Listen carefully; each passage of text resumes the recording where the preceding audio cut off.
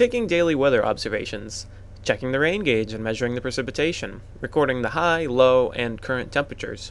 They're common tasks for those involved with weather forecasting, but for a cooperative observer located to our east in Bridgehampton, New York, the excitement of observing thunderstorms and other meteorological phenomena has kept him taking measurements for over 80 years. They're taking the weather every day and nice days. It's monotonous. But then you get the thunder and lightning, bam! Richard G. Hendrickson is a cooperative weather observer, or co-op, for the National Weather Service, taking voluntary but very important daily weather observations at his home in Bridgehampton. Sounds pretty standard, but there's a catch. At 101 years old, he's been part of the observation record at this location from the very beginning in 1930. We got it from Cornell, set up the weather station, put it together, put it up there, and put the records in. So far as I know, even when I went to Cornell,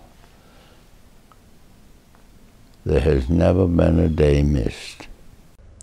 For some perspective, back in 1930, the New York, New York Weather Service office was located in the Whitehall building in lower Manhattan. And the National Weather Service even had a different name, the United States Weather Bureau.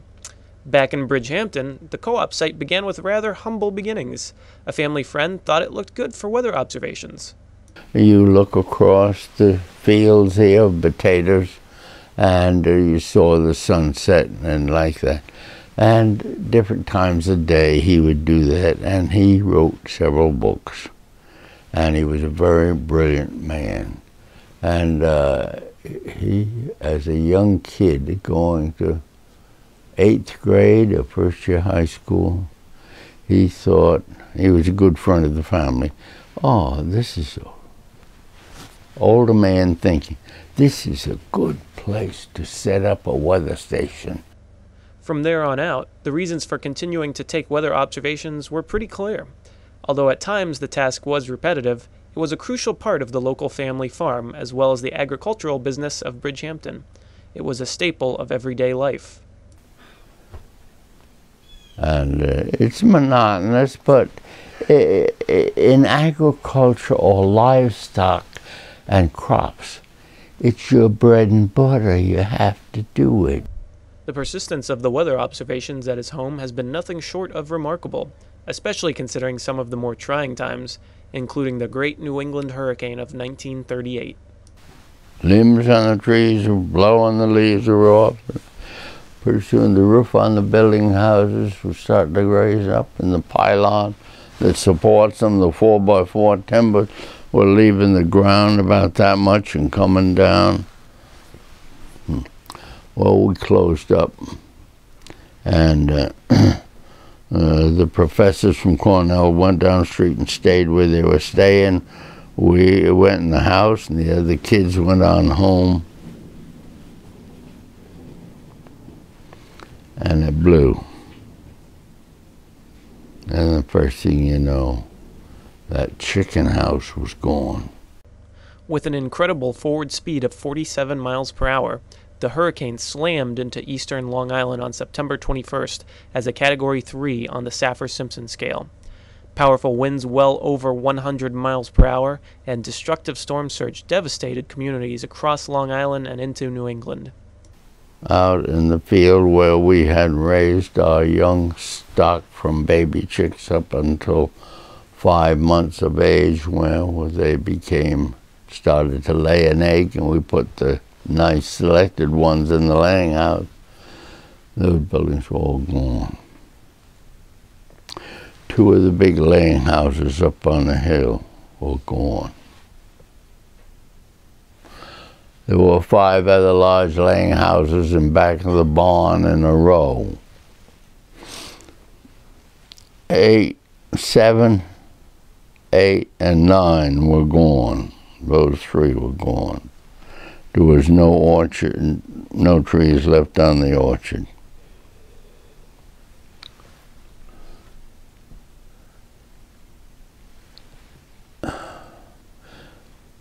It is a way that you started life all over again. Sadly, the storm resulted in hundreds of fatalities, thousands of destroyed homes and buildings, and tens of thousands left homeless. The rapid speed and extreme nature of the storm caught many locals off guard. Well, uh, that day we had never heard of, other than reading in a history book way back colonial time, of a hurricane that's down south. You don't have them up north here. The storm surge and force of the battering waves created several new inlets along the local barrier islands, including Shinnecock Inlet, which remains today. And in total, the storm resulted in several billion dollars of damage when adjusted for inflation. You had to clean up everything. The cows were in being milked. What was you going to do with the milk? The roads were plugged up trees down, or like that. Buildings bottom side up, a building smashed. And it was, I would say, it was at least three days that your mind was in a terrible condition. This came to your mind, you got to do this uh, what can you do for that? And it, you had to stop and think on just one thing. However, despite the catastrophic nature of the storm, life and the weather observations continued on. But we lived through it. And you, you made each day the best you could under those conditions of what you had, what you needed or what you had to do. While the farm has been sold away since, the house and an impressive array of antiques, such as his collection of wartime cannons, have stood the test of time. Still, over the years since those first observations back in 1930, the science of meteorology has changed dramatically, including the development of new surface observation platforms. For example, today a New England pilot project weather station sits just to the south on the property of Richard's son. Nonetheless, if you ask Richard Sr. how his observation methods have changed over the years, he'll tell you the same thing. Not a bit. There may be some things that have changed from a new experimental station or something, and uh, if I've heard of them, it's passed my mind, but I, I never no, everything's the same as it did 1930. Still today, in addition to the data provided by other cooperative observers, Richard's data are recorded and entered at the local Weather Service office and disseminated through various products. The consistent record has made the Bridgehampton site an integral part of the area's surface network. With such a wealth of experiences to call upon, Richard has a truly unique perspective on the local weather. But he'll be the first to admit that there's always more to understand. You're always learning from someone else. Nobody knows it all. You can always learn. It's a philosophy that has been and continues to be at the backbone of Richard's incredible efforts as a cooperative weather observer for the National Weather Service.